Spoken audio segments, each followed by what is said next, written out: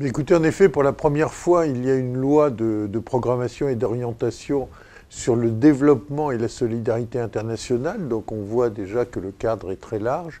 Et ça va pouvoir donner un cadre institutionnel à la France. Ça va pouvoir inscrire des ambitions euh, avancées pour pouvoir euh, créer de nouvelles conditions d'intervention auprès des pays qui en ont besoin.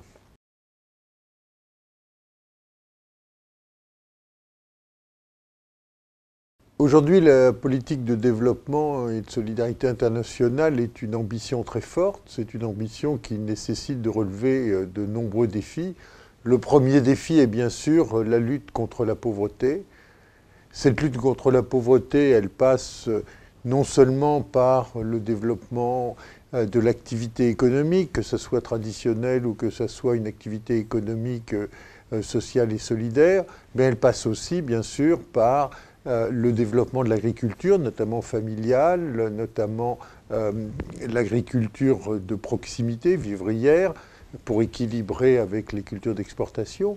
Elle passe par le développement de la santé, elle passe par une protection sociale renforcée et par toutes sortes de dispositions qui permettent de mettre euh, les pays qui sont aidés dans les meilleures conditions de réussite.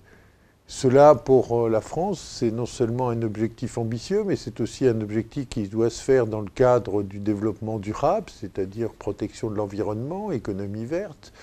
Et on doit inventer de nouveaux mécanismes, ou en tout cas clarifier de nouveaux mécanismes quant à la transparence de l'aide. La transparence de l'aide, les financements qui sont apportés par notre pays, pouvoir suivre la chaîne de ces financements, qu'il y ait des nouvelles réallocations, mais qu'on sache ce qu'elles sont.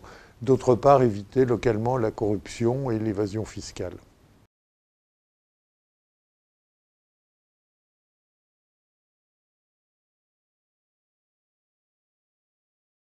Euh, les acteurs non étatiques sont des acteurs tout à fait importants puisqu'ils sont l'expression euh, de, la société civile elle-même. Donc euh, il faut pouvoir mettre une, politique internationale grâce à ces acteurs qui sont euh, les agriculteurs, qui sont les acteurs économiques, qui sont les syndicats, bien sûr les ONG, les associations locales de, de, la population. L'activité non étatique est une composante essentielle de l'aide parce qu'aujourd'hui, il existe des sociétés civiles importantes dans tous les pays dans lesquels l'action peut se mener et il faut pouvoir travailler avec les acteurs locaux. D'autre part, une autre chose très importante, c'est de travailler avec les populations en difficulté de façon à ce qu'elles soient acteurs de leur développement et qu'elles puissent ainsi non pas être en position d'assistance, mais en, position de, promotion de leur développement. Dans ces acteurs, ce ne sont pas des acteurs à proprement parler, mais le rôle des femmes est tout à fait important, notamment euh, dans l'agriculture, dans la vie familiale. Elles ont un rôle essentiel qu'on a renforcé.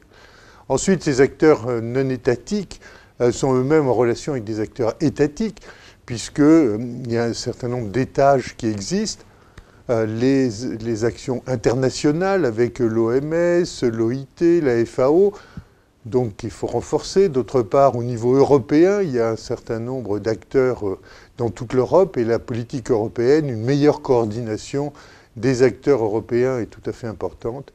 Enfin, euh, pour organiser cette, cette action de développement de solidarité internationale, la création du Conseil national de développement et de solidarité internationale est tout à fait essentiel parce qu'il va pouvoir non seulement euh, regarder comment se développe la politique internationale de la France, mais aussi elle se développe, euh, elle permet aussi de vérifier qu'il existe bien une coordination entre tous les acteurs en France, car les politiques internationales ne sont pas seulement euh, la politique du ministère du développement, mais c'est aussi toutes sortes de ministères qui interviennent. Donc la coordination est, très importante, puisqu'il faut savoir que le développement n'est pas que de l'assistance, mais le développement est aussi du développement économique et l'activité très importante des entreprises françaises à l'étranger.